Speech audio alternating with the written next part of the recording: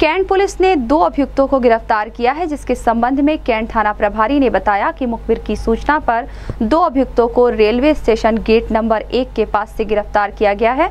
जिनकी पहचान विकास सोनकर, पुत्र हरि सोनकर, निवासी रुद्रपुर, वार्ड नंबर 11 थाना रुद्रपुर, जनपद देवरिया, दूसरा अजय गौड़, पुत्र राकेश गौड़, निवासी लाला टोली, थाना रुद्रपुर, जनपद देवरिया के रूप में हुई है।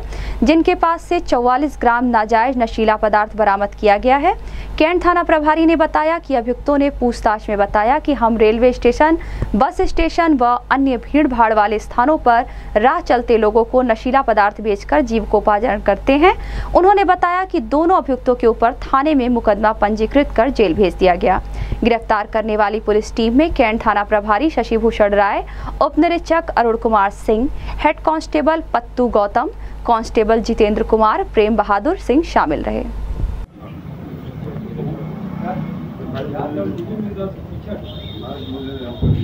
ठीक है